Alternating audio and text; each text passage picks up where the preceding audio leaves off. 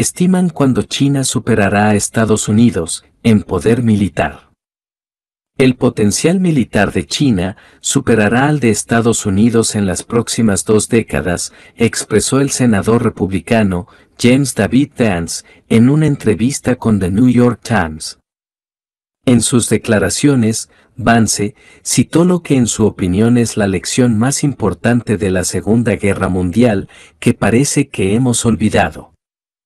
Esta lección, asevera el senador de Ohio, es que el poder militar está detrás del poder industrial.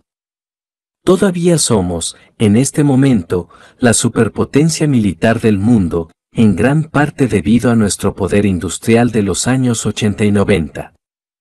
Pero China es un país industrialmente más poderoso que nosotros, lo que significa que tendrá un ejército más poderoso dentro de 20 años, afirmó.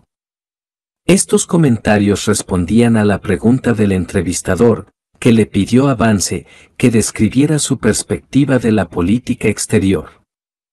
Al respecto, el republicano contestó que el realismo en el siglo XXI tiene tres pilares. El primero de ellos consiste en tratar con otros países en función de si son buenos o malos para los intereses de Estados Unidos. Eso no significa que tengas un punto ciego moral, sino que significa que tienes que ser honesto acerca de los países con los que estás tratando, y hay un completo fracaso en hacerlo con la mayor parte de nuestro establishment de política exterior en este país, sostuvo el senador.